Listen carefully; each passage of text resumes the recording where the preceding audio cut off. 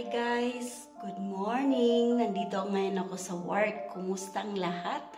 Sana guys, nasa mabuti kayong kalagayan at ah, masaya lagi. Kaya guys, sa araw na to papakita ko sa inyo ang mga bagong pusa ng amo ko. My God! Talaga naman, masyado silang ah, caring sa mga street cats. Kaya pag kinukuha nila sa labas guys, ang dami nilang pusa sa bahay. My God! 11 na. Tapos ito may bago silang tatlo na kinuha ng anak niya galing sa labas guys. Pero ang cute ng mga pusa. Papakita ko sa inyo. Tara guys!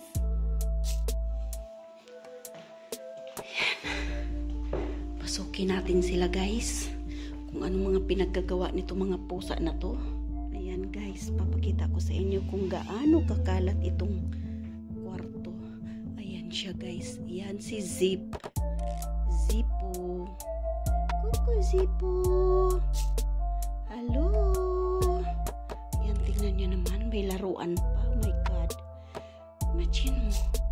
Buti sana kung yung mga yan ay napaka mura ng mga laruan. Ini-spend nila ng time at saka ng pera para dyan. Diyos ko, ang bahay nila amoy pusa na. Ayan na, madudumi lang yung bahay nila dahil dito sa mga pusa na to.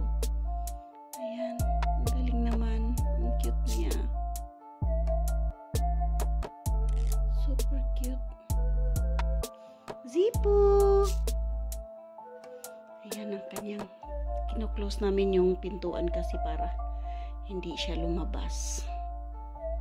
Zipo! Zip! Zip!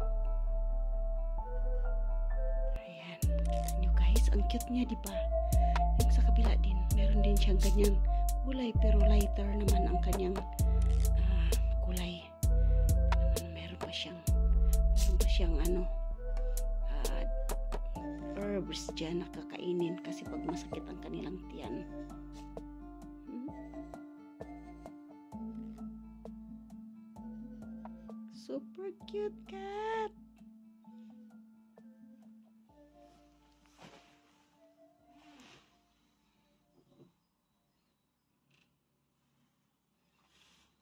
So, yan guys. Hmm. Ancla La Rocha.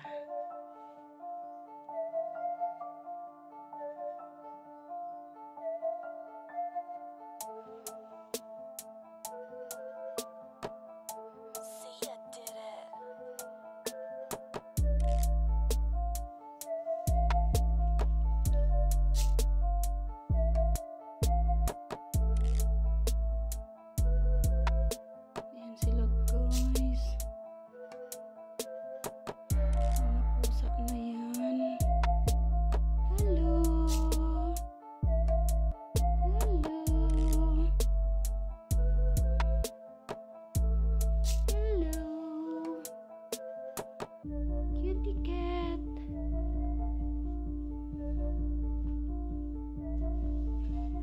Pati pa to, ang ganda ng kanilang mga laruan ay.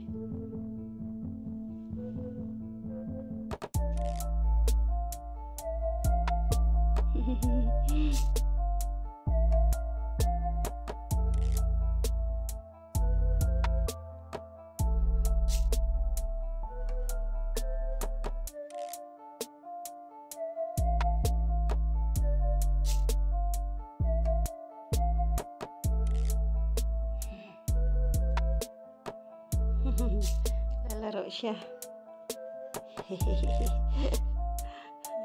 Playful tong yellow. Tong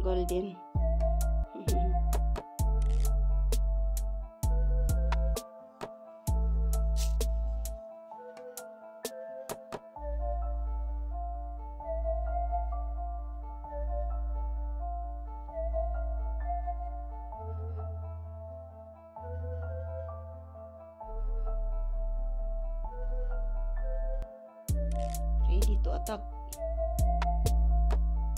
gitu, up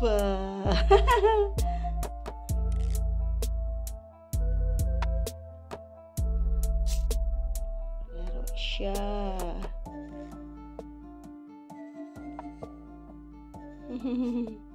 Kacu Alilaro ka naman. Ayaw mo. Nalulungkot ka ba? Nalulungkot ka dito? Magandang bahay to, ano? Kaysa naman sa labas, magwi-winter na. Dito, alagang-alaga kayo. Tinan nyo naman yan. Ang ganda-ganda ng inyong mga laruan. Sa labas, wala kayong laruan. Ay. Okay, bye-bye na. See you. So, ayan pa yung isa. Isa sa mga pusa nila dito. Ayan. Meow,